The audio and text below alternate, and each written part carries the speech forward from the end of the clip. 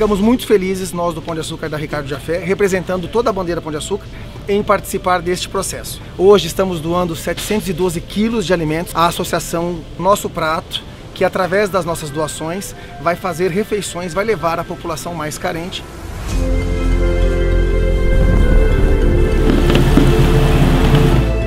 É um projeto do Nosso Prato, em conjunto com Mesa Solidária, e o Vico Gastronomia ajuda aí transformando esse alimento que vai chegar na mão das pessoas que tanto necessitam. Gostaria de agradecer o Grupo Pão de Açúcar que trazem o alimento, trazem os recursos para que a gente aqui, como Vico Gastronomia e Mesa Solidária, transforme e lá na ponta, em parceria com algumas instituições, algumas ONGs, eles possam fazer a distribuição.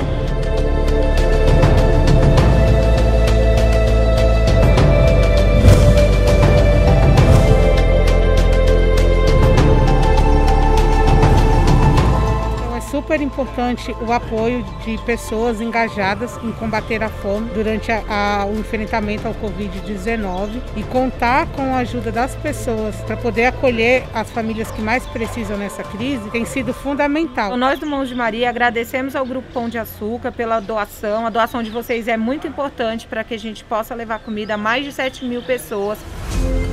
Nós criamos só um espaço para que essas quentinhas chegassem e fossem distribuídas. Então nós somos gratos a todas as pessoas envolvidas e o que a gente mais admira é o gesto de compromisso que está acontecendo nesses dias aqui.